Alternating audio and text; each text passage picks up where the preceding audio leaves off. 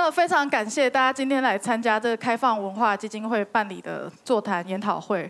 然后我是今天第三场 panel 的活动主持人林文亮，然后我是亚洲公民未来协会的发起人跟执行长，非常开心可以主持这场呃场次三的活动。然后其实。呃，回顾一下刚刚前两场，就是有谈到一些 norm setting，包含政策，然后包含一些概念，然后包含那个治理这几块。然后我也常常有这种感觉，就是在听前两场的时候，就会觉得哇，我们在台湾好神奇哦，因为有些东西好进步，然后很 innovative，但同时也有一些东西好落后哦。譬如说呢，我们申请一些基金会的钱，我们还要用光碟来核销。然后呢？哎，有效的人代表你们都有这种感觉，所以不是只有我一个。然后我们在报税的时候呢，我还要去找一台有 IE 的电脑来报税，就是一个很特殊的，什么东西都会发生在台湾的一个状态。然后其实也回应到刚刚 Charles 有谈到的哦，台湾在很多地方是想要呃展现我们民主。人权进步的一面，但其实还是有一些局限。刚刚他谈到的是商业界或者是科技公司想要来台湾，他可能会面临到包含官僚、税务、外汇上面的限制。那亚洲公民未来协会，我记录一下哈，我们在做台湾公民空间的盘点，我们其实也遇到一个很大的困境，是发现，呃，非营利组织、非政府组织在要来台湾立案，不管是国际或者是外国团体要来台湾立案的时候。都发生了在立案上面的很大的局限，那这跟我们的法律法规跟官僚体系都息息相关，那这也阻碍了我们台湾在不管是区域，不管是国际扮演一个重要角色的机会。好，那我自入结束了哈，感谢大家的包涵。那刚刚前两场其实我们谈到了规范的制定，然后谈到了监管机制跟独立机构的缺乏，然后我们也谈到了在一些政策面上不足的状况。那我们在场次三的话，其实邀请到四个机构，有三个机构是。INGO 有一个是我们的主办单位开放文化基金会，那我们在场的四个呃代表会来谈的，我想比较大的东西是从那个 norm，从那个 principle 到实际我们怎么推动改变，实际我们怎么做 practice implementation，跟甚至我们。怂一点，project 这一块我们怎么来呃实践？有没有一些 good practices？那这个是我们今天我们五个人的工作。那我们今天先，我废话不要太多。我们第一位邀请，哎，我们第一位邀请的是 Kevin。好，那 Kevin Slaton 他是自由之家亚洲办事处的项目经理。那我们时间就交给 Kevin，他没有 PPT。谢谢你，谢谢 OCF。啊，邀请我到今天到这边跟大家分享一下自由之家的研究跟呃，就是这个就是怎么去引领呃数位维权的工作。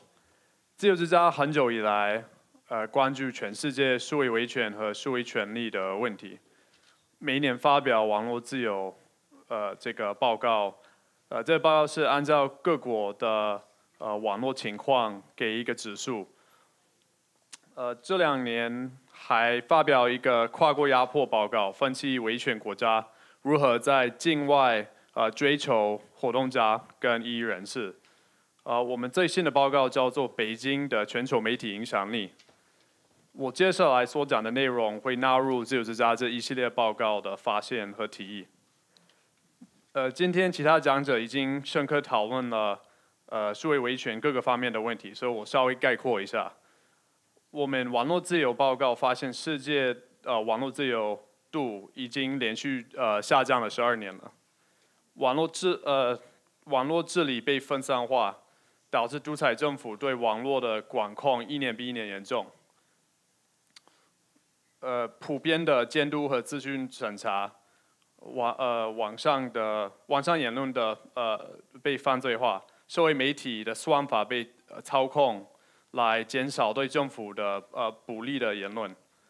当独裁政府无法透过这种境内网络的控制啊，去呃控制活动家的时候，他们呃呃他们会呃就是追求他们的境外的网络进行骚扰和威胁。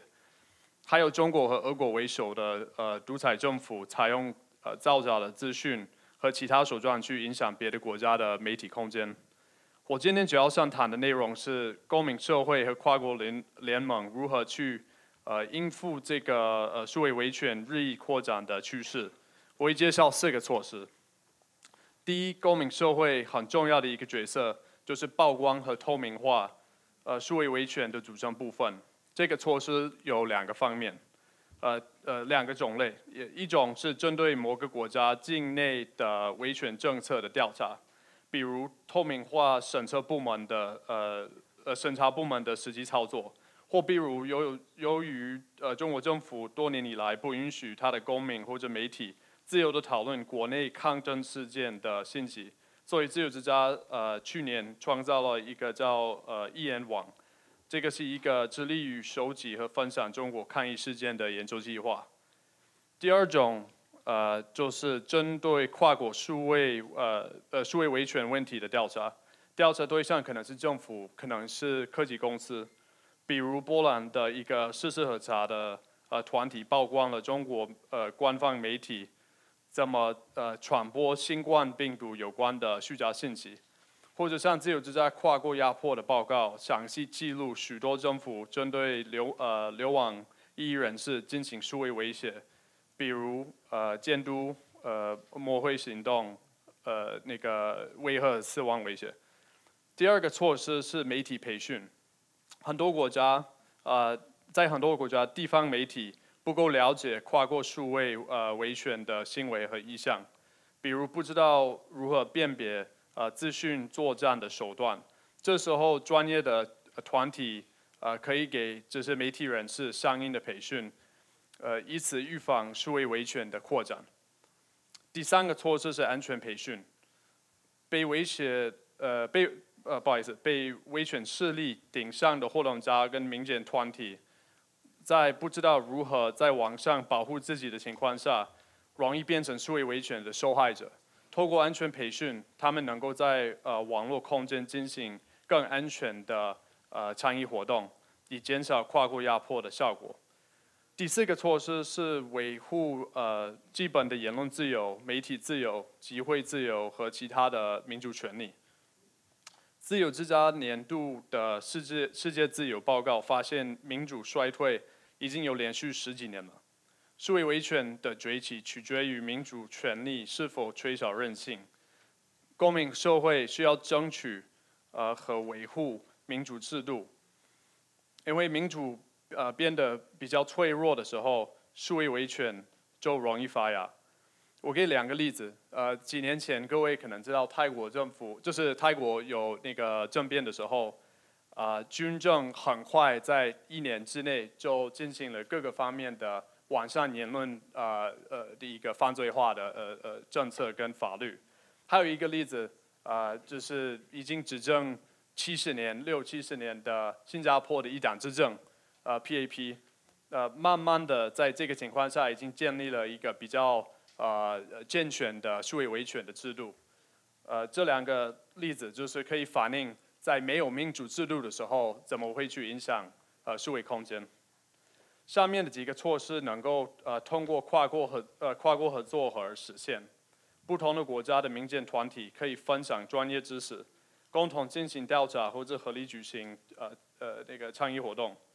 去年在台北成立的自由之家亚洲办事处，希望能够在亚洲地区鼓励更多这一类的合作，包括支持台湾的民间团体和亚洲其他国家的呃团体加强交流和合作。作为自由之家在亚洲的基地，我们期待跟大家呃一起努力抵抗数位维权。谢谢。好，谢谢 Kevin。那我们等下的提问的部分会统一放在四位讲者讲完之后，那再请大家如果有过程中有任何问题，都可以在过程中扫这个 QR code，然后在我们 Slide 提问。好，那我们第二位欢迎。呃，亚威佛里德里希诺曼自由基金会全球创新中心专案经理。哎，好，大家好，那个我是呃佛里德里希诺曼自由基金会的专案经理，呃，我叫亚威。不好意思，我们基金会中文译名很长，谢谢亮亮。好，对，那呃，我接下来会用同一片介绍呃，基本上我们基金会在台湾呃成立办公室以来的业务，呃，作为我认为呃我们要怎么样去对抗区域的这个数位威权主义的重点。那最后我会再呃分享一些我自己个人的看法。好。那呃，我们基金会是从呃，大概是去年的时候来到台湾。那我觉得来到台湾设点的呃理由，就是当然是因为台湾是呃数位民主、公民科技方面在世界上有非常好的表现。那这样的表现也是全体的公民社会呃一起促成的。那这也是为什么我们本来创新中心是设立在香港。那因为香港的政治情势逐渐紧张，那为什么我们选择来到台湾设设立办公室？其实是因为这个这个原因。那我们之后在呃台湾开展的计划，几乎呃每一个计划里面都会邀请台湾的公民社会，呃特别是公民科技社群的伙伴来当讲者，或是来当讲师来分享他们的经验。那就是我们呃全球创新中心的网站有 QR code 可以扫描。那我们在这边的工作有两大重点，那这就是我们去对抗数位威权主义的方法。第一个是为民主而创新，第二个是科技转型。那我是负责呃数位呃为民主而创新项目的专案经理。那这个主题就是我们要去发掘说我们怎么运用科技，我们民主倡议者怎么运用科技还有创新的方法。去对抗威权主义的逐渐扩散，还有增进我们民主创呃民主倡议的方式，我觉得这个道理很简单。大家在座的各位其实都多少感受到说，呃，威权政府、威权势力他们的科技的运用的程度好像在这边，但是我们民主倡议者、我们自由主义的这个呃我们的倡议者们，我们的科技的程度跟知识的来源可能在这边。那这是呃这其实是一件一个不公平的战争。那看到这个状况，我们当务之急，我们就是要赶快去提供，我们要去充实，还有互相学习。我们民主人权倡议者，我们怎么样获得更多科技的知识跟资讯，还有创新的方法，去对抗这些威权的影响力？那就是为什么我们呃开展以下的一些计划。那第一个计划是我们很荣幸跟开放化基金会合作一个桌游，叫开源新手村。那这个桌游是帮助呃没有科技背景的人也可以理解说为什么开源很重要。那我觉得这个呃计划有趣的地方是在于说，呃科技科技的政策跟科技的发明，它明明就是会影响到我们全世界的人，民主倡议者也是一样。那为什么呃没有科技背景的人没有权利去呃没有权利去对它发展的方向有意见，没有权利去对它发展方向有一些呃有一些贡献？那所以这个地方开源这个概念就提供我们民主人权倡议者一个很好的切入点。因为开源可以让呃科技的政策或是产品更透明、更被民众监督，那也可以更促进竞争跟创意。那所以我们觉得这个游戏是非常的重要，然后也可以鼓励没有科技背景的人用没有压力的方式去思考这件事情。好，那再来我们也是有请呃一位台湾的专家翁家基先生来帮我们写了一个手册，叫做《Public Money Public Code》，一个给政府跟公民社会的开源指南。那呃，我们呃会写作这个原因也是有看到说，在威权国家里面，呃，威权政府好像觉得说，数位的公共建设跟公共服务是一个黑盒子，人民没有权利监督。那呃，因为科技很难懂，所以人民没有没有不用不用让人民懂。可是这是不对的事情，因为这些建设跟服务，通通都是用人民的纳税钱建造出来的，所以人民应该是有权利去看到它的城市码，看它的组成。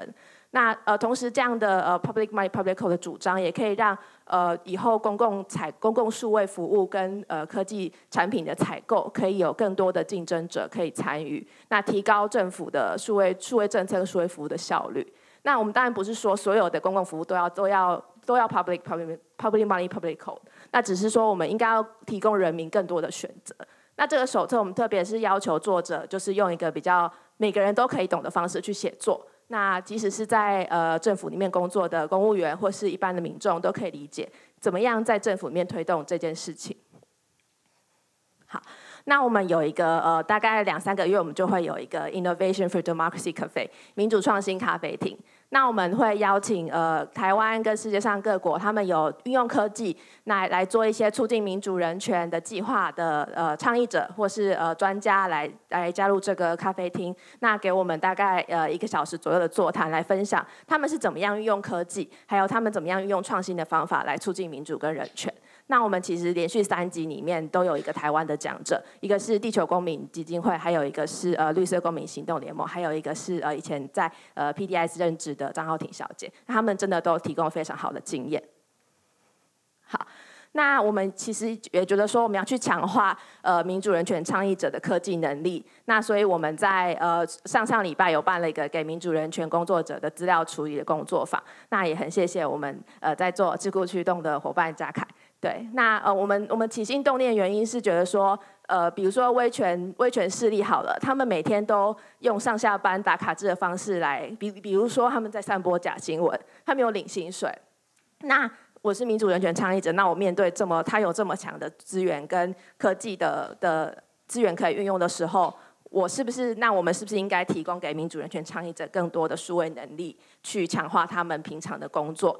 因为毕竟要去跟这些维权势力抗衡就已经很辛苦了，那我们不希望因为他数位能力的落差，让他的呃组织内部的工作来阻挡他做更深的倡议。那这是我们办这个活动的原因。那我们也有一些针对呃错假讯息，还有呃在世界上关于网络自由，还有呃科技能力的一些出版出版品，都在我们的网站上可以找到。那呃就是呃呃就我的工作，还有我之前的工作历程，我其实有以下的意见可以分享。那我觉得台湾在公民科技，就是用科技来促进民主人权这件事情，真的是在世界上真的是有很杰出的表现。可是我有时候也会担心，就是呃。因为，因为我们这样优秀的台湾这样优秀的发展，那有很多的国际组织来台湾设点，也提供很多资源。那可是你也会担心说，万一有一天这些资源没有了怎么办？那呃，还有就是台湾现在，如果说我们真的要用科技这件事情来让我们的呃民主工作在区域里面扮演更重要的角色的话，我觉得我们真的要去思考说，台湾有没有一笔自己本土的资源，去持续性的帮助像。开放文化基金会，还有任何关于就是数位民主的呃数位自由人权的团体，去让台湾成一个孵化呃网促进网络自由的工具，或是计划的呃的中心的枢纽，这样的话可以才可以支持大大家在台湾的大家可以走得远，然后也可以走的，就是呃让更多的区域朋友也有一起贡献的可能。那我觉得这个要去思考。那美国就是像在美国的话，可能有呃所谓的 Open Technology Fund。那像在斯坦福大学，还有各个大学里面，都有很多就是跨科技跟人文社会的研究机构。那这样就可以促进就是呃民主人权倡议者跟科技人之间的交流跟连接。就是而且他们有非常多的私人基金会有提供这样的赞助，就是那个社会的公共财有够多够大。那台湾的话，我觉得我会非常希望看到这样的发展，才可以支持开放化基金会，还有这些相应的组织走得更久，然后在区域中扮演更大的角色。那呃，剩下的东西好像有点多，我就不讲完。然后我觉得可以推荐大家看一个呃，就是 NDI 的一个报告，我觉得做的非常好。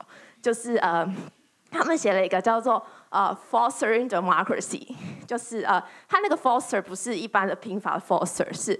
F O S S 那个是呃开源自由软体的缩写，对，那那个报告里面就是在检讨说，呃，为什么呃国际上一些鼓励网络自由的工具，还有呃很多倡议者他发展出保护异议者人权的一些工具，比如说呃像举例啦，Signal 啊，Tor Browser，可能还有其他小工具，这些计划为什么开源计划为什么到最后没有办法长久？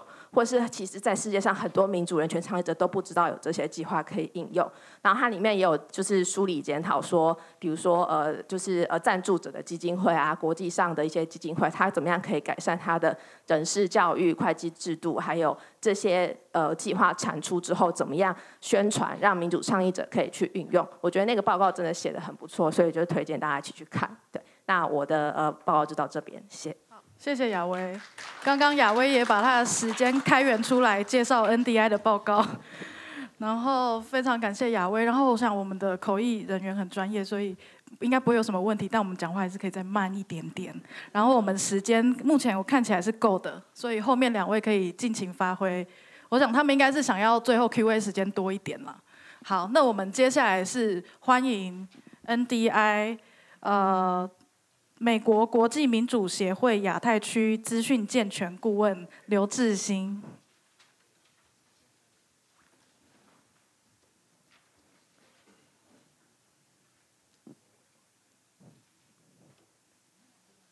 没有没有，好，谢谢。好，我我的是一段影片啦，所以等下再进影片，这样。好，好，大家好，我是那个美，好，没关系，先这样好了。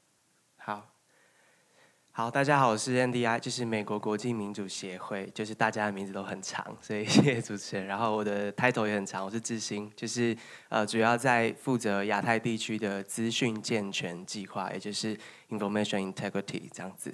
那很开心今天有机会跟大家分享呃我们所做的事情，以及关于今天的题目我们所看到的一些呃大家可以一起协力的地方这样子。那今天的分享呢，其实就是。露露跟诗慧都有很明确的点菜，说我们应该要讲些什么，这样，所以我等下会按照他们所教的功课来那个分享。不过他们教的题目蛮大的，我们只有十分钟，所以我会尽量把功课完成。这样，好，首先先介绍一下 NDI，NDI 其实在台湾其实不一定很多人知道，就是 NDI 是一个一九八三年成立的组织，现在在全世界有。五十几个国家有我们的 field office，就是在地有办公室，然后呃，在总部是在美国，然后全世界大概是一千五百多人这样。那我们所做的工作，其实是在世界各地去支持民主的发展跟深化。或者是呃，对于民主运动有有呃有需要我们协助的地方的话，我们会透过不同的方式呃协助当地的公民团体跟社会去发展这样子。那具体来说，我们大概做哪些事情呢？这是第一个功课，就是要解释 NGO 到底是一个什么样的角色。因为呃，按照 OCF 的说法是，今天应该有很多台湾公民社会的伙伴们，但大家呃可能不确定知道怎么跟。台上的这一些 NGO 合作，或是其实这个合作可以带来什么样子的效益？这样，所以主要先解释一下我们是谁，我们做哪些事情，然后在今天的这个题目之下，我们做些什么。那其实很具体的来说，我们几乎嗯，从认清威胁到建立防御的每一个步骤，我们好像。都可以做，也都在做。呃，我我盘点了一下 NDI 在世界各地做的事情，其实呃很明确。我们跟研究者合作，所以做各式各样的研究报告，去理解各个议题在世界各地的现况，不同国家的现况。所以像在台湾，我们在呃 COVID 的期间，其实就跟呃沈博阳老师合作，做了一个在台湾的从台湾出发，但是去观察关于 COVID 的假讯息、不实资讯怎么样在网络上面传播这样子。那我们。也做支持倡议啊、培力啊，或是国际交流这样等等的工作。那我想今天就是一个很好的一个场合的例子，就是。特特定的议题，尤其是新兴的民主发展遇到的议题，是需要做完研究之后，是需要进一步进行倡议的。那各个国家的倡议其实需要交流的，因为从每一个社会里面看到的情况可能都不太一样。但是当数位威胁大部分是跨境的时候，这样子的国际交流就变成非常非常的必要。但是如果你让各个社会独自去倡议的话，其实那个倡议者会非常非常的辛苦，因为呃很多这个题目下面的行为者都是国际的，尤其是如果是平台的话，所以。跨国的倡议、跨国的交流，然后接下来是进一步的合作。合作就是像 OCF 很多的专案都一样，或是在台湾有许多的 NGO 现在也都已经展开了国际的合作，也就是不同国家的相关领域的团体可以是一起做一些案子、做一些专案的。那我想，呃，亮亮的组织应该未来有很多机会扮演这样子的角色，请大家好好 follow 他们这样。嗯，那有了合作、有了案子可以做之后，其实加在下一步，其实最长远来说就是人才的培力，也是 INGO 可以支持的部分。所谓的人才的培力，就是其实不管是呃最最最最。呃，fundamental 的，就是像办活动或是处理这样的事情，到高一点的，这样像亚威这样子，可以在国际上面去点出一些题目，然后呃做出研究，而且让大家有机会交流这样子的一个呃人才库，其实也是 NGO 可以去支持在各个地方可以建立的。这样的人才更多之后，其实。大家做出来的案子，或是有的交流的机会就更大。那在回应新兴的民主挑战的时候，呃，能够做的事情也就更多。那我觉得另外一方面还有一个事情是，呃，NGO 可以做的事情，也是我们在做的事情，就是呃不同领域、不同层级的呃利益相关的行为者，我们是有机会让他们坐下来对话的。这个是呃 NGO 很多时候在做的事情。比如说上个月月底，我们呃 NDI 就进行了一场，就是呃跟 Twitter、Twitter、Meta、Google，然后呃呃 TikTok 等等不同的科技业者的呃代表，然后我们进行了一个线上的对话，然后我们从世界各地找来公民社会的呃代表，跟他们一起有这个闭门的对谈，主要在谈的就是平台在接下来二零二四年有什么 agenda setting 是希望。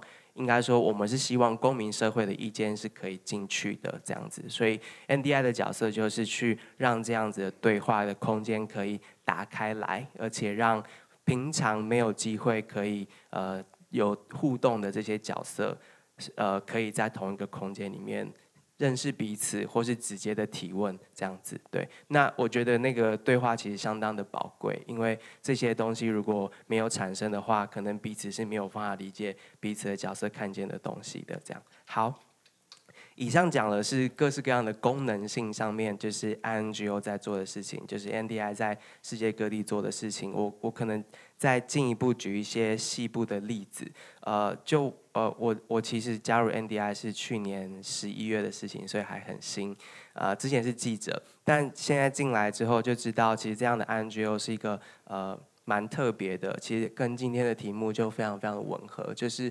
国际的合作跟国际的数位结盟，在这个 INGO 的框架之下，其实光是 NDI 的内部，呃，台湾的办公室就可以跟，比如说。白俄罗斯、乌克兰、香港的团队、缅甸的团队、菲律宾的团队，我们彼此在针对同样的议题的时候，就可以直接互相的交流，这样子，我们就可以去理解，在面对什么样子的挑战的时候，在不同的社会里面看到什么样子的做法。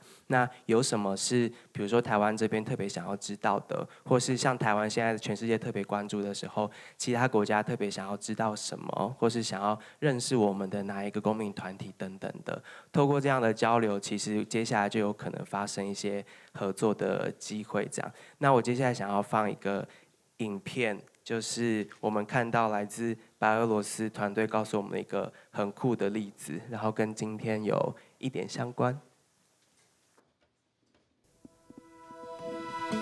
Hey, Belarusian, how's it going over there? And over here, there's no place like home, right?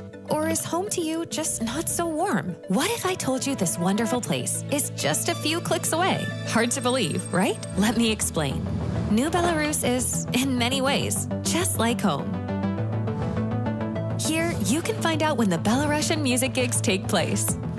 Receive counseling from a lawyer in Brest. Talk to a doc from Grodno to get it off your chest.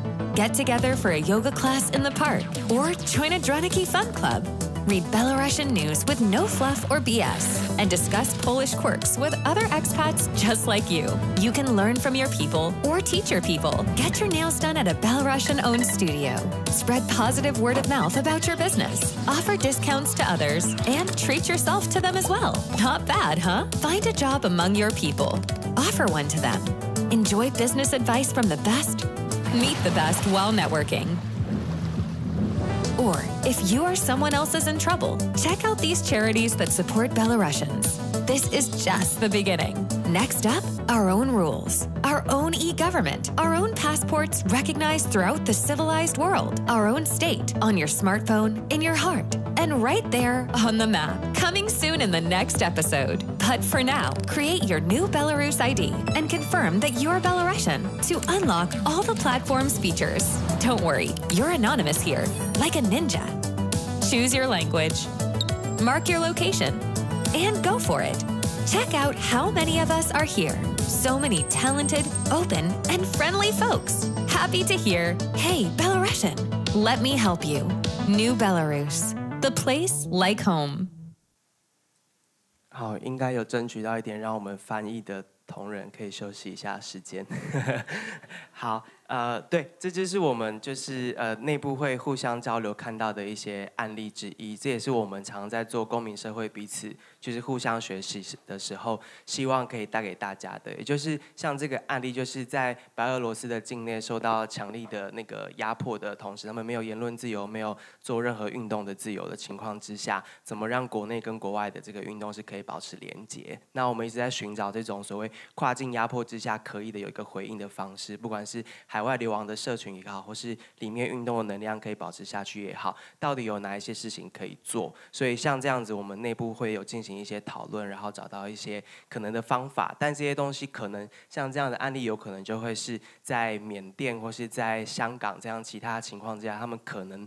有机会的话，想要参照或是彼此学习的一部分，那那个可能就是进一步我们下次办活动或是做闭门讨论的时候可以促成的一些交流等等的。以上只是举一个例子。那过去两年，NDI 台湾其实也做过很多呃国际交流或是培力的这样的工作。现在举几个例子，比如说我们刚办完的是开放国会的一个 forum，我们的伙伴也在现场，就是公都盟跟 WFD，我们邀请了罗马尼亚、北马其顿还有科索沃的议员来到。台台湾跟立法院里面跨党派的呃。呃，委员有了进一步的对话，而且我们同时邀请了国际的 NGO 来现场提供他们的观察，或者是我们这两年来最主要的一个计划是青年参政，这个呃亮亮跟 OCF 也是我们最主要的伙伴之一。我们邀请了亚洲四个国家的年轻人来到台湾学习，呃，不要说学习，交流一些反贪腐跟促进青年参与政治的一些可能的做法。那这四个国家这些青年其实都是在地的 NGO 的一些青年领导者，所以他们回去之后。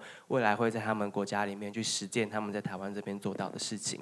第三就是呃，我我主要要负责的就是在亚洲区的资讯健全计划，主要其实就是对抗不实资讯啊，或是数位安全啊等等这些的议题。我们希望以亚太地区为范围的，让这个网络可以更进一步的深化，而且彼此学习。比如说，我们三月底刚办完的就是关于华语的。不实资讯在台湾、在马来西亚、在澳洲到底发生什么样的事？怎么样具体的影响了在地的政治等等这样子的交流？那一场就有很多的呃呃人来我们的活动，然后有了进一步的关注。我们也办了闭门的会谈，让这些学者一起研究同样问题的学者是可以彼此认识、彼此认知到的这样子。对，所以其实我觉得今天的题目是呃。如何与国际合作？呃，然后人怎么样因应这个跨境的数位威胁？我们呃这十分钟就介绍一下我们是谁，然后我们做哪些事情。那露露其实有交代一个功课，是说那在这样子的跨国的合作当中，台湾可以扮演什么样的角色？这可能就是等下 Q&A 的时候，可以大家一起来回应这个问题的。谢谢大家。好，非常感谢志兴很详细在不同层次介绍 NDI 的呃实践跟一些案例。那我们最后一位讲者是我们的地主开放文化基金会执行长，我们请新颖。好，大家好，我是开放文化基金会的执行长新颖。那首先就是有个场合可以跟大家介绍开放文化基金会什么，我相信。这一次终于有来自不同领域的人，就是我们从科技社群出发。我今天终于有看到非科技社群的面孔，对我来讲，终于可以介介再次介绍一下我们自己啊。呃，我们关心的面向很多，那其实从最根本的开始，我们最核心的就是在看的是开放科技。我们是一群从 open source 开放原始码开始，那我们。核心在包含开放资料、开放政府，以这个开放科技为核心，向外相关的网络自由跟数位权利，在这些议题里面的相关内容，那这是我们主要在关心的内容。但是我想跟大家讲的事情是，真的很广。好。那其实今天大家在谈的东西，我觉得其实就是这样。数位科技其实改变了我们的生活，它给了我们很多创新、很多便利，但也扩张了这个数位威权的影响。那我也大家今天讲到的很多东西都比较偏民主啊，政府面向的管控管制。我也想要再提醒一下，还有另外一个很大的东西是大科技们。这些 big tech 其实他们也是另外一种 central 之下发生的问题哦。那我们当科技改变了我们的生活，那我们要怎么样去呃抑制，或者是要怎么样去呃建立这些呃抵御这些影响。那面对改变带来的冲击，那 OCF 就是以开放、参与、透明的为基础，去用跨域的方式，然后去建立关系，然后去连接，然后希望说可以帮这个社会有一个解决的方式。好，那 OCF 与公民科技。公民科技有如何去面对这些数位上面来到的威胁？以最底层的来讲，今天其实大家常常最最一直在提到了，就是意识、数位意识、数位意识的提升。那不乏有我们有呃网络自由小聚，这个是一个从二零一九年开始，我们就在每个月第四个礼拜三，哦，第三个礼拜四，哦天哪，我我每次记还是讲错。他他太难了，每个月第三个礼拜四，好，在魔之公聊，呃，也是 Open Source 社群呃好伙伴了，我们会办网络自由小聚，那也是在那场网络自由小聚上面，我去邀请了 Charles 来进行分享，然后有才这一场的有点像是在升升级版哈，我们聊更多东西。那其实我们在 TWIGF 的时候也。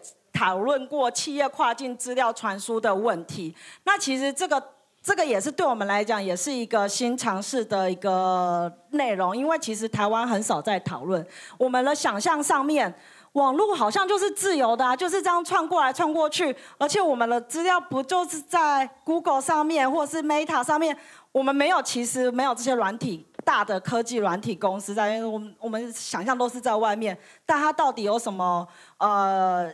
影响。那例如举例来讲，当苹果日报它要被收掉的时候，台湾的人民的订阅资料到底可不可以传回去中国？这些资人民的资料到底有没有对我们有没有什么影响？这其实都是一个我们可以值得去讨论。所以我们那个时候不只是找公民团体，我们甚至找企业家，我们我们找商业的人来讨论，说他们如何去。呃，他们在商业上面会遇到什么问题？那其实他们也很坦白的，实际讲，在商言商，大家是怎么绕的？那这这其实也是一个互相的交流，我们才会知道真实世界发生了什么事情。然后还有包含今天的数位公民呃研讨会，或甚至是我们以前也有呃 OCF Lab，我们产出了很多很一系列很棒的文章。那第二个阶段。我们有做到防御的能力哦，我们要去建立大家防御抵御的能力。那首先，我们在二零一七年的时候，跟三个友团啊，台全会，然后 HeCon，呃，台湾骇客年会，华人民主书院共同创，呃，共共同发起的公民团体治安暨隐私交流计划。它太长了，我常常都叫它 CSCS，但是我相信缩写没有人懂它是什么。那在这一个 project 里面，我们发现到民主人权的第一线的工作者时常遭遇到攻击，时常遭遇到危险。他们所接触的人更极度的高度的敏感，或者是很危险的事情。但是呢，他们其实手无寸金之力啊，他们没有武器，他们没有不没有防御能力，他们甚至不知道为什么要挡。他们的意思就是，我每天就是这样用手机，我为什么要在乎我的手机上面会发生什么事情？我是一个科技麻瓜啊，我对这件事情完全的不了解。那其实，在这个计划里面，呃，我们就可以对公民社会，呃，或者是记者们进行培训。然后教育训练，然后甚至是提供他们，如果他们有被 hacking 的状况，我们还可以及时的协助。那现在这个是一个 community 的计划，所以就是也欢迎大家一起来加入。那 OCF 也是成为里面的一个 community。那另外，其实不止治安，刚刚其实亚威也有提到科技，治安其实是里面一个很大，应该说很危险的事情。但是当它治安的时候，它已经发生事故了。那公民科技的这个赔利，跨界的赔利到底要怎么产生？这也是我们会要去做的。那我们可能，例如说，刚 NDI 是有那个呃 Force 的 Handbook，那其实我们也是产生这样一系列的 Handbook，希望可以让公民团体可以了解这些东西。那最上面那一块是政策呃监督与倡议，那包含数位权的倡议，那数位中介服务法、EID 鉴保资料库案，那。嗯，为什么它在最上面？我觉得台湾要推动一个法案，真的是很难很很难撼动，但是我们必须要做。它还是需要做的事情，但它真的是很难撼动。但是很好的事情是，如刚刚高委员讲的，EID 大家是有挡下来了。好，那刚刚 Kevin 没有机会秀他们的 map，这是 Freedom House 的 map，有机会帮我们秀一下。其实大家可以看哦，呃，Freedom House 他们的那个网络的报呃报告里面，Freedom 报告里面，他们就是会去盘点整个全世界的状况。不止大家想象中的中国，每一个地区，印度、白俄罗斯、新加坡都有各种问题。每一个国家都在想说，我们要怎么样限制呃大家的 personal data，大家的个资要走如何流去哪里或什么之类。但是这些东西到底会不会伤害到我们个人的权益、我们个人的资料？这些东西也是大家要去想的。那这些国际该如何合作去应应跟威胁？首先，我会讲要讲的事情是政策的借鉴。我们会需要跟跨国的去合作，然后面对这些新兴科技的法律及政策呢，我们要去做研究。那这类型的研究呢？其实以台湾，就你只知道台湾本土的东西，那你每天也有太多的事情，你这来不及关心到新加坡或是世界各地到底发生了什么事情。但是有国际上面的合作，这样子的串联机会，我们就有机会去了解这些东西。那第二个是翻译跟转译哦，我觉得这件事情很重要。第一个就是我们比较常以台湾来讲，我们比较常产生出。呃，华文的东西，但是我们很少把它翻译成英文，让世界知道台湾现在到底发生什么样的情况。第二个更其重要的事情是转译，转译的事情是当科技发生的时候，都是科技圈的人，大家很开心的讨论这些东西，太技术层面了。其实公民社会 会跟你讲说什么等，那到底是什么事情？那另外还有意识的提升，就是我们要在地的 NGO。你比较认识 local，那大家会比较信任你。那要如何去为公民建立那个应应的能力？那第四个是研究调查。那研究调查其实对我来讲，觉得是很重要的一个部分。是研究调查真的很花钱跟能力。那这种东西也是国际比较有机会做得到的东西。那像 Freedom House 的报告，像像 OCF 也有跟受到委托，然后跟韩国、马来西亚一起做台湾的企业。责企业责任的报告，这些东西都是有这些报告，我们才能知道我们下一步要做什么事情。那最重要当然就是国际上面的人脉的串联，然后我们要去串联各方，去增强我们彼此之间的经验交流，然后以及资源的交流。对，好，那我就分享到这边，谢谢。好，非常感谢新颖，然后也同时感谢四位分享者。然后 CSCS 的全名是 Civil Society Cyber Shield，受益良多，一定要记得。对，然后呃，其实我们这个场次它并不是邀请四个组织来做自我介绍，其实他们刚刚。大家不要这样想，他们刚刚都介绍了很多，其实，在呃目前的趋势如何应对的一些观念，加上一些自我介绍。那我们所以呢，这也显得我们现在十五分钟的 Q&A 非常非常的重要。那请我们主办单位帮我们开 slide 吼。那我们也是不免俗，就是线上一题，线下一题，然后看我们可以答几题。但呃，主办单位会把这些记录都放在共笔上面，大家后续还是可以去看。那第一题有六个赞，我们就先来喽。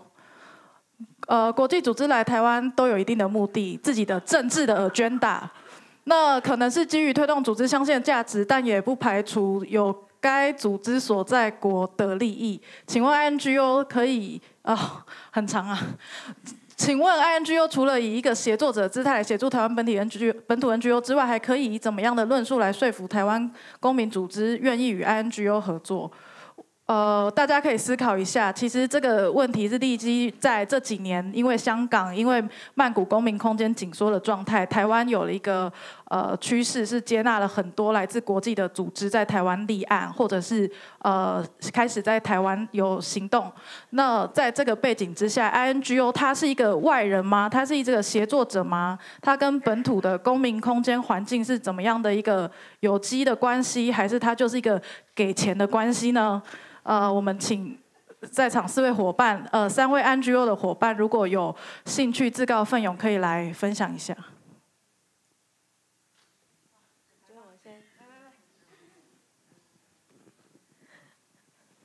呃我想就是就回应第一题那个。嗯，第一个是就是其实我们我们就是呃诺曼基金会，我们是跟我们的确是跟德国的自民党有比较密切的和密切的交流跟政策上的合作。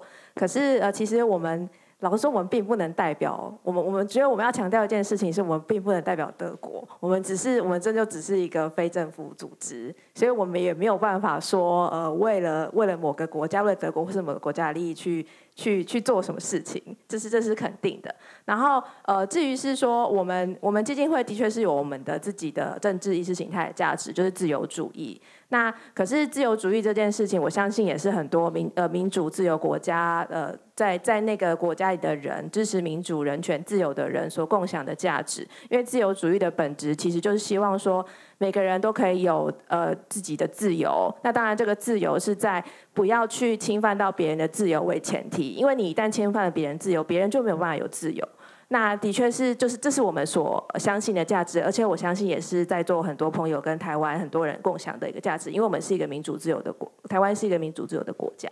那还有就是呃，其实我们并不是我们并不是说我们是一个协助者，我们跟呃公民伙伴呃。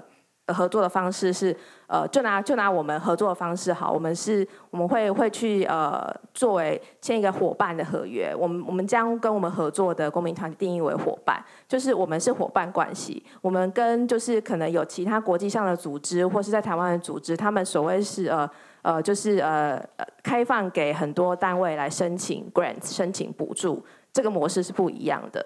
我们跟来呃，我们跟任何的 NGO 还有团体来合作，我们是一个伙伴关系。那我们就是我们在这个合伙合作伙伴关系平等的基础上，我们交流彼此我们可以支持的资源。所以，我们呃，我们并不是说一个协助的角色。但我同时也觉得说，协助帮助这件事情是互相的。就是今天我帮助。并不代表说，呃，我我比你我比你高，我比你优优优势，而是说我帮助你的同时，同时我也很期待说，你可能有比我呃熟悉的知识或资源，我也很期待呃，就是接受你的帮助。我觉得一旦这个帮助变成一个互相的关系，我觉得是其实会加深大家的信任跟合作的深度。对，那大概这样。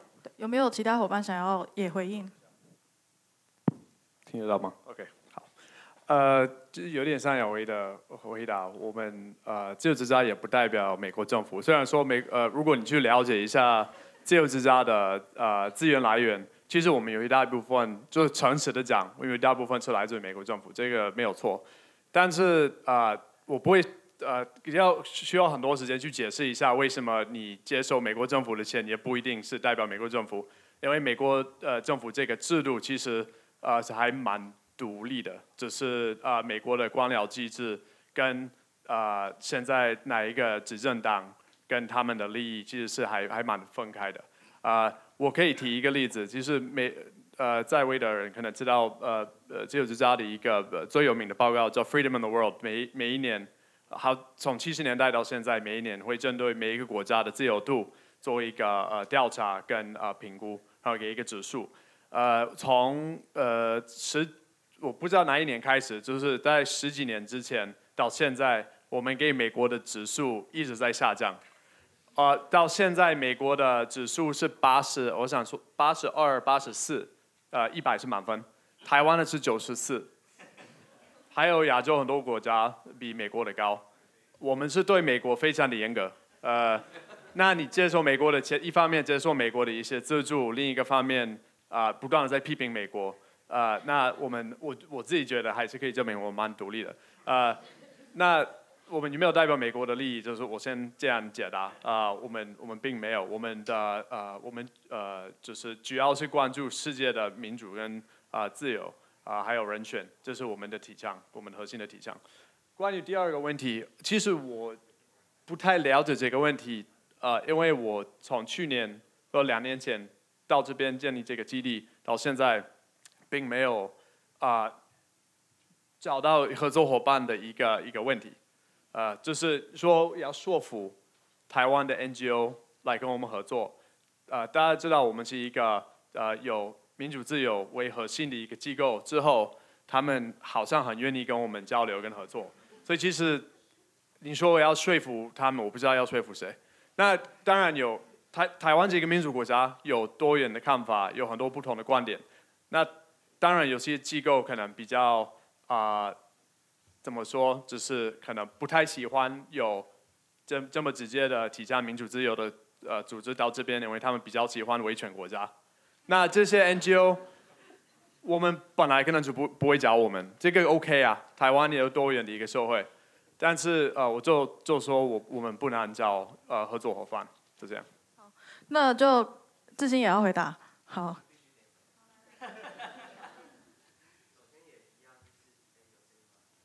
没有，好，现在有了，好。特别是我们可能特别需要澄清，因为我们的名字里面就有美国国际民主协会，但同样我们并不代表美国政府这样子。然后同时我们也是无无党无派的非政府组织这样子，对。但的确我们有特别关注的所谓的价值吧。如果按照这个问题的话，以我的手以我呃负责的这个计划为例，当我们在关心不实资讯的时候，其实我们关心的呃面向其实是在这个讨论当中的边缘化的族群，也就是他可能对科技完全不理解的，他可能在乡村的，或是他是呃因为性别的关系，所以在这个讨论政策的东西他不在中心，或是你或是视障者啊、听障者这一些，关于他们，他们面对到这些资讯乱流的时候，他们能够做些什么？所以当我们在做这个题目的时候，我们会特别去支持，以以菲律宾为例，我们就会支持在菲律宾提供给视障者。他要开发一个，就是用用说的的那个，就是就是呃，人家呃 digital literacy 的一个教育的素材这样子，或是我们会去到菲律宾的南部，去到乡村的地方，然后提供给他们 digital rights 的各种的教育的课程，然后总共四天这样子。所以我们的确有我们呃所特别着重的价值，然后我们会在我们的计划的涵盖的区域，比如说亚洲的话，就会找到他正在做这些事情，或是他就是在做这件事情的伙伴。然后同样跟亚威说一样，我们并不是协助者，我们是试图成为一个伙伴关系，然后用不同的方式去支持他，让他想要做的这个东西有机会，不管是更永续的做，还是影响力可以持续扩大。所以大概是这两件事个事情的回应。好，谢谢三位 NGO 的代表的回应哦。就大家举了一些例子，然后也做了一些呃 statement 表态。那但是这个问题不论如何都是非常重要的。那我回回应一下，我觉得这个问题的重点也在于我们本地公民社会是不是有一个自己的议程。然后我也相信在这个机制下，呃，行动者或者是不管代表哪一个机构，其实或多或少还是有一定的能动性。那这也是呼应了我们今天的国际合作跟对话的重要性。那现场有没有问题？我们开放一个。好，大哥刚问过，我们再看看还有没有其他的伙伙伴哈。好，没有，那这位大哥，呃，你好，那我想请教一个问题，就是说，因为现在整个世界的潮流就是都在讲 ESG 嘛，哈，那我是想说，这个将来 Open Source 跟那个这个数位公民将来跟那个 ESG 有什么样的一个连接跟一个？就说用什么样的方式去去改变？其实刚刚有一直讲到这个 open source 将来是一个很大的一个机会跟挑战。就说挑战在，即使就有很好的一个服务，整个都已经架构都做好，可是后面的这个整个营运跟整个应用方面就是很难。那我相信您各位专家都有看到世界有一些成功的案例，那是不是有什么样的？机会可以分享一下这样的国际的案例，可以跟台湾大家去分享。好，谢谢。那我们在场的讲者有哪一个比较熟悉这个题目吗？好，新颖。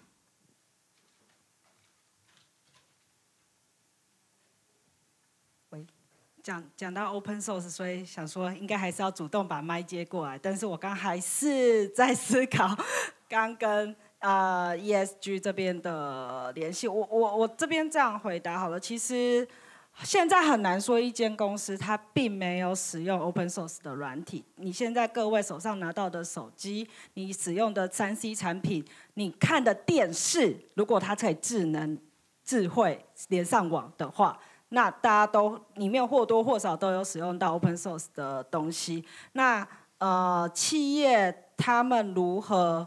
对 open source，呃回馈，那这个是他们要一方面他要遵守 open source 的 rule，那另外一方面是他要如何去跟呃 open source 社群去做回馈，这是一个方向。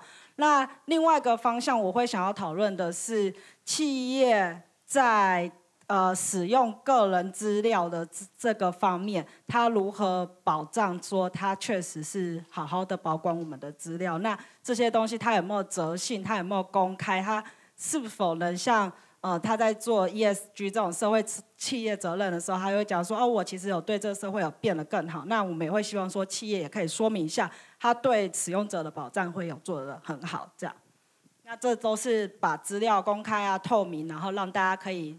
去做到了幸福。嗯，好。不过我们这个 panel 还是锁定在国际结盟的价值跟一些具体的经验。那我们这个 panel 还有三分钟，那我们就看讲者是不是开放一人讲一分钟，有没有什么想要分享的，或是想要借这个机会回应的？嗯，好，我麦继续拿着。呃，如果非科技背景的一般公民团体想要监督与参与数位政策，应该要学哪些技能或知道哪些知识？我想跟大家讲，我非科技背景，我读的就不是科技背景的东西哦。就是，其实这就是一般公民你要如何去了解这个议题。所以，当一个政策或是监督的时候，应该是要多方利害关系人，大家坐下来一起参与。所以我们常常也是在讲的事情是，这个是跟你自身切身有关的事情。如果你觉得它重要，那你应该要去参与，而且是站在你的角度去询问，你对这件事情你可以如何提供他帮助。在做呃，不管每个议题上面，其实大家都是这些科技上面的使用者，那你就是要去想说，你可以怎么样提供帮助。嗯，好。那上面也有问题，有 Q 到 Freedom House 的 Kevin，然后另外两位讲者也可以，就有没有想要回应的，我们就一人一分钟。好，那还是志兴或雅威可以先来分享。好，第一题就是呃，我想特别。呃，从那个 Charles 今天有提到一个概念是碎片化，碎片化这件事情的确也是我们在看到数位空间上面对人权压迫这些议题的一个大趋势，所以我们也在想说，怎么样透过国际串联去让这一些在各地回应这样威胁的这些公民团体是有机会可以持续下去的。那碎片化的下一步其实就是。各地那个抵抗这个碎片化的，就是对于各社群的这样子的攻击，其实我们会看见的事情是，你会发现在特地在某一些特地。特地族群里面，他们的资源会特别特别的少，或是他们是特别特别脆弱的。那对他们的公式，不管是治安上面的公式，还是不实资讯上面的公式，也会特别是克制化的去攻击他们。那其实对这些社群来说，他一方面脆弱，他一方面呃，其实也需要其他人来教他们怎么去回应，在他们社群里面面对到这种属于他们的威胁，属于他们的攻击。那在这种碎片化的情况之下，我们有在想。在国际串联上面，其实这时候关就更加关键了，因为这个串联的这个 network 就变成说，你要 reach 到更多、更边缘化、更小、更小众、更小型的这些社群，因为他们现在都是这个数位空间里面的受害者，也就是我们在讨论这个题目当中，他们其实都需要协助。所以在这个情况之下，其实数位的串联，就是跨国的串联，我觉得。在这个碎片化趋势之下，是我们可以进一步去探索跟讨论的方向。这样。好，谢谢志兴。那 Kevin，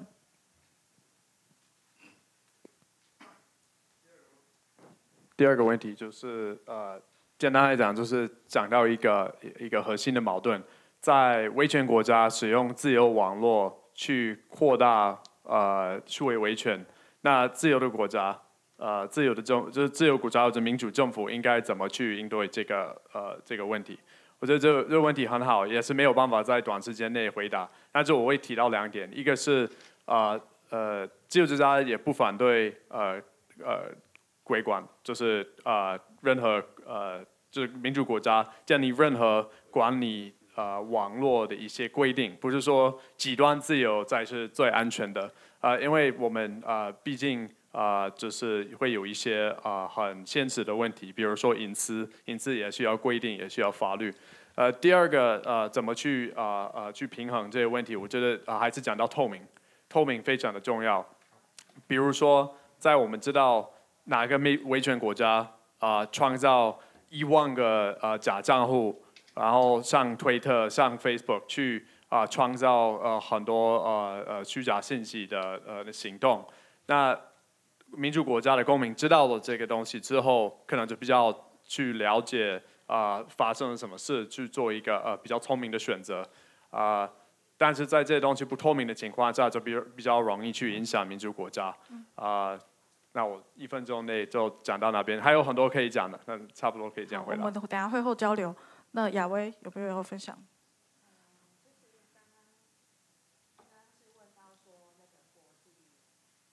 呃，Hello，听得到吗？好。就是呃，面对这些数位威权的的威胁，就是跨国的串联怎么做？我觉得就是呃，也可以去关注一些呃国际性的专门在做这方面的组织，比如说。呃，诺曼基金会之前有去支持过，呃，大相信大家都很熟悉的那个 RiseCon，然后有一些呃关注呃数位对抗数位维权的一些组织，比如说 Access Now，大家都可以去关注这些网站。可是，可是在去关注这些东西的这些网站跟资源的之前的的呃做的功课是，呃，我觉得大家可以去呃尽可能的去跟，比如说不是在台湾的朋友，或是去解释说，呃。这边到底遭受样遭受了什么样的网络的网络上的威胁？